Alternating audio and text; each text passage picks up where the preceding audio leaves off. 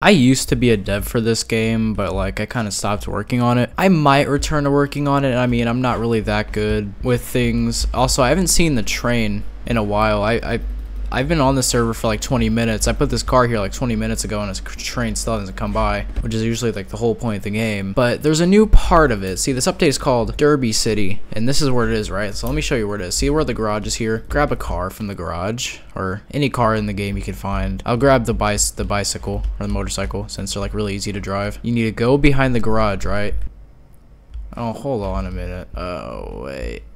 What did you do? Bro, well, I guess you can't really drive through that, so you're gonna have to deal with using walking for now.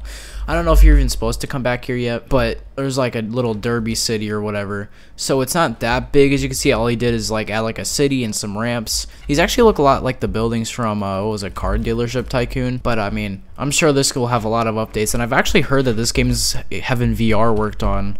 Um, Roblox actually recently was released on the Oculus Quest 2, I know. So, so that's like a really big surprise. Not a surprise. I mean, obviously it was coming eventually. Um, it's actually pretty great. Um, I mean, not not that the Quest 2 is easily able to handle the graphics of a 2D or not 2D, a really garbage graphical game like Roblox. But see, you can see he added these. There's like billboards everywhere the lighting in this game has gotten actually really good. Um, I, I, I, I highly advise him to get completely just get rid of the blur effects. Oh, there's the trains. Well, it just goes right through the car. So, like, what's the point?